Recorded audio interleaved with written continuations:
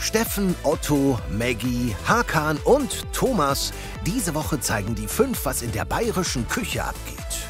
Wirklich viel Show, wie das hier eingeschenkt wurde. Ja, viel Show um nichts. Das war keine Show. Statt Applaus gibt es Kritik. Ja, war ein klein wenig enttäuscht, muss ich schon sagen. Wenn ich das serviere, würde das 50 Prozent meiner Gäste definitiv zurückschicken. Das ist jetzt äh, leider daneben gegangen, ja. Soße ist keine Soße, das ist eine Pampe. Warum versuchst du nicht mal ein anderes Gasthaus? Ne? Also das wäre dann mein Tipp für Sie. Ja, das muss man noch ein bisschen üben, gell? Der, der Thomas, weil der kann ja auch gut austeilen. Das ist halt so die Anfangsharmonie, was seit Mittwoch so ein bisschen verloren gegangen. In Schweigers Landgasthof von Steffen geht's los.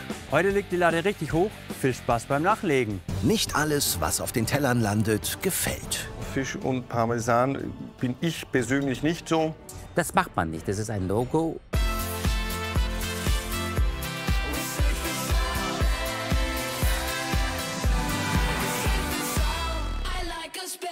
Landshut und Umgebung, schöne Natur, auch schöne Gerichte.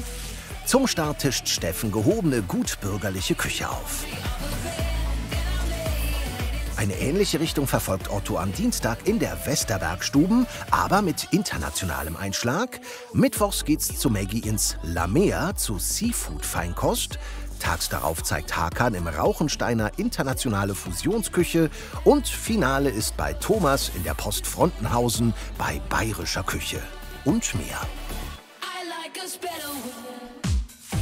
Sternekoch Ali Güngörmüsch begleitet uns als Mikes Urlaubsvertretung durch diese Woche. Ja, Premiere für mich bei Mein Lokal, Dein Lokal. Ich liebe diese Sendung und die Woche darf ich euch mitnehmen. Wir sind in Landshut und Umgebung und heute in Wartenberg bei hier Schweigers Landgasthof. Das ist ein Traditionslokal, geführt vom Steffen und den Steffen möchte ich jetzt kennenlernen. 2016 hat der gelernte Hotelfachmann den über 150 Jahre alten Gasthof übernommen. Mein Name ist Steffen Seibert. Ich bin der Geschäftsführer hier im Schweigers Landgasthof. Wir haben neben dem Restaurant einmal ein Hotel dabei, haben noch eine große Event-Location und ähm, noch einen kleinen Veranstaltungsbereich. Und welche Gerichte bietet ihr euren Gästen und Besuchern im Restaurant an? Also wir haben nicht die klassische bayerische Küche, aber äh, Küche mit ähm, bayerischen Einflüssen. Unser Konzept ist die, ähm, einmal die saisonale Küche. Also wir haben eine regelmäßig wechselnde Karte alle zwei Monate und ähm, versuchen da auch die regionalen Produkte ein bisschen mit einfließen zu lassen. Mein erster Eindruck und meine Erwartungen sind, ich möchte eine schöne, ehrliche Küche haben. Das ist ein Landgasthof und dementsprechend möchte ich auch die, die traditionell leckeren bayerischen Gerichte haben. Mit seiner besseren Hälfte Bettina leitet Steffen den Betrieb. Hier Steffen. Servus Ali, herzlich willkommen. Hallo, grüß dich. Na, schön habt ihr es hier. Ja, danke. Schön. Ah, Das ist das Restaurant. danke. Genau, das ist Hauptrestaurant, ja. Das Hauptrestaurant. So stelle ich mir einen Landgasthof vor. Ne? Eingedeckte Tische, alles sauber. Und das Haus gibt es aber schon sehr, sehr lange, glaube ich, oder? Das Gebäude hier gibt es seit 1869. Ja. Genau. Irgendwie gefällt es mir hier, aber das, wa- wa- was, war, was war hier früher? War das ein Stall? Was, was, was war hier drinnen? Das hier war der ehemalige Kuhstall. Kuhstall? Ja. Okay. Da kann man sehen mit dem, mit den ganzen Gewölbe und so, es gibt dem Ganzen so nochmal so ein, was das Ambiente angeht, wirklich so, so, so, so ein äh, geiles Gefühl, ja, wenn du als Gast da sitzt. Und wie lange macht ihr schon? Wir haben seit achteinhalb Jahren. Und wart ihr vorher auch schon selbstständig? Habt ihr vorher auch schon Gastronomie gehabt? Nee, wir kommen aus der Kettenhotellerie. Kettenhotellerie. Ja, Und dann bist du aber nicht mehr Hotelier, sondern du bist ja auch gleichzeitig ein Gastronom, also das ein Restaurant auch noch zu führen. Das ist schon, also musst du schon Mut haben, muss ich ganz ehrlich sagen. Ach schön. Und was macht ihr für eine Küche? Traditionell bayerische Küche oder? nee, wir haben Nein. ähm, eine saisonale Küche Ja. mit bayerischen Einschlägen. Und dann womöglich schauen wir, dass wir mit lokalen Produkten arbeiten. Die Küche interessiert mich jetzt. Ja, dann folgt mir. Die ist 20 Quadratmeter groß. In der Hochsaison arbeiten hier bis zu 25 Leute. So, Ali, Oh, hier wird fleißig schon gekocht. Kochen ist nicht so ganz meine Kernkompetenz, deshalb übergebe ich dich an die Jungs, die es können. Einmal Martin, unser Küchenchef, und das ist einmal Thomas, einer unserer Küchenchef. Alles dann. hallo, wünsche ich euch viel Spaß. Grüß dich, mein Lieber. Martin, hallo. Na, was machst du denn da Schönes? Ich brate gerade unseren Speck an für die äh, Striezel, die es heute zu deinem Hauptgang geben wird. Was, was, was, was kriege ich denn überhaupt? Du bekommst heute äh, unseren Zwiebelrostbraten äh, mit Zwiebelrostbraten. Schmelz und Röstzwiebeln. Und dazu gibt es, wie gesagt, unsere Kartoffelstriezel. Das ist, wenn du es so willst, eine unpanierte Krokette. Da ist Speck Und wie der- heißt das? Kartoffelstriezel. Und das ist ja bayerisch? Ja, es das? ist eigentlich schon Echt? bayerisch, ja. Äh, Das habe ich im Prinzip von meinem Vorgänger übernommen und fand das so klasse, weil es halt einfach dieses Alleinstellungsmerkmal hat. Das macht halt keiner. Also ich kenne sie auch nur unter Kroketten, nicht als Kartoffelstritzel. Aber als Koch lernst du nie aus und das ist gut. Oh, ich freue mich, ich freue mich. Das Wort Striezel bedeutet ursprünglich längliches Hefegebäck. Kann ich dir irgendwie helfen? Du möchtest, kannst du schon mal den Speck äh, reinmachen. Ich hack derweil ein bisschen die Petersilie. So, komplett rein. Kannst du komplett reinmachen, genau. Das ist ja das, was die Striezel erst so richtig lecker macht. Der schöne Rauchgeschmack von dem, von dem Speck Bacon. rein, ne? Genau. Wunderbar. Also du hast die Kartoffeln gekocht? Genau. Ähm, ich tue sie im Ofen dämpfen. Ähm, ist einfach, dass aus den Kartoffeln halt die Feuchtigkeit grundsätzlich heraus muss Ja. für, für eine Krokette. Ähm, und Ja gut, theoretisch kannst du auch kochen und dann im Ofen ausdämpfen lassen. Genau, haben wir genau. das ja früher gemacht. Es geht ja darum, äh, du musst sie ausdämpfen, es geht um die Feuchtigkeit. Ne? Damit die Masse am Ende ja kompakt ist und äh, dass sie beim Frittieren nicht auseinanderfallen. Deswegen musst du sie ausdämpfen. Deswegen gibst du auch Ei dazu oder Eigelb dazu und Stärke.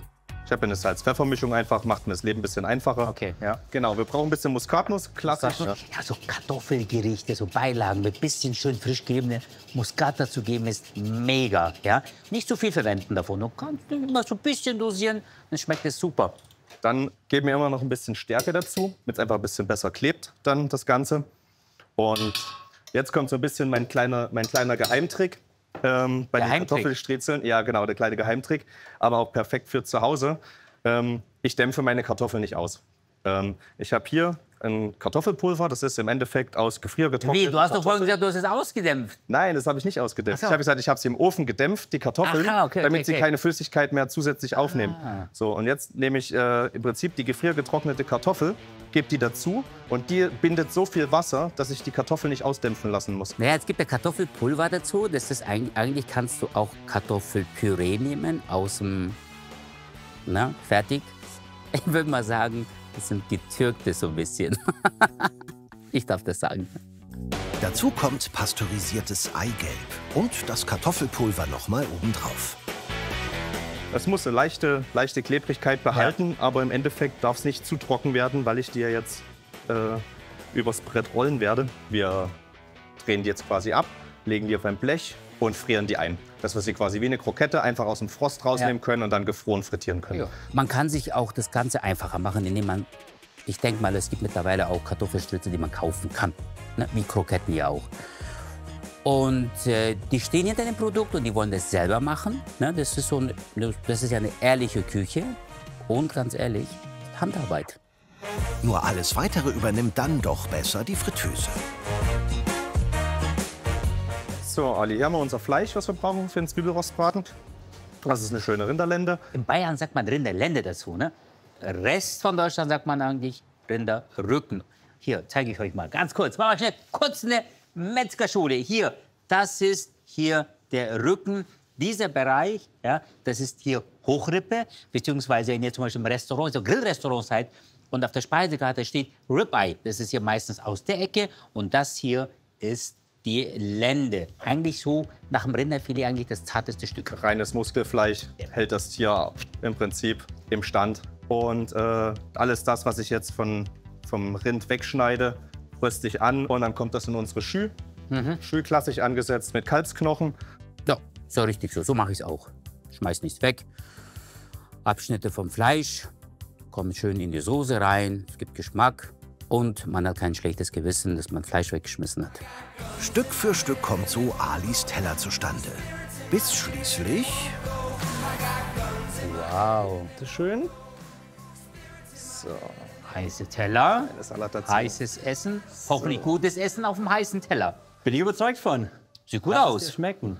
Ja, für, für einen Landgasthof, optisch sieht es gut aus. Also ganz ehrlich.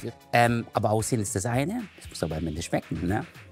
Die, die Stritzel, die hast du wirklich sehr gut. Gleichmäßig sind sie knusprig oder beziehungsweise goldgelb gebacken. Und innen ist sicherlich schön weich und saftig.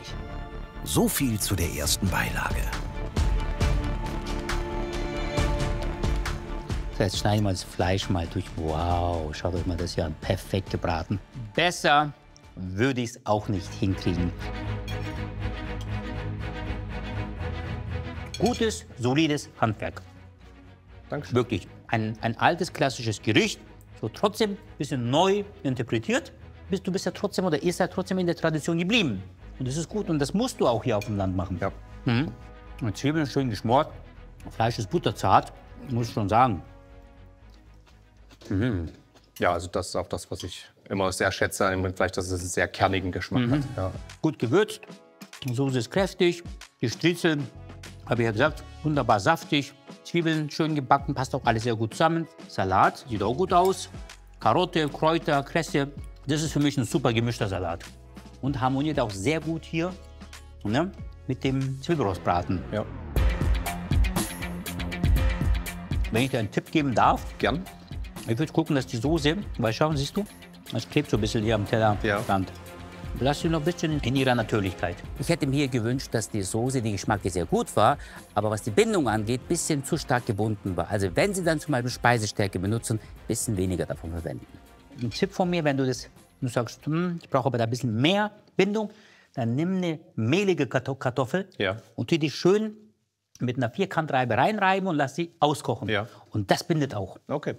Und wenn ihr sagt, wir gehen so in den Wettbewerb, dann viel Spaß damit. Super. Vielen Dank. Sehr gerne. Danke. Schön. Na, ich denke, ich werde es auf jeden Fall erstmal ausprobieren. In einer kleineren Menge. Ich meine, ich habe eh jetzt meine Soße hier, meinen Ansatz auf dem Herd stehen und äh, werde die heute noch fertig machen. Und dann probiere ich das aus und werde für mich entscheiden, ob das gut ist oder nicht. Und wie lautet das Fazit des Kochprofis?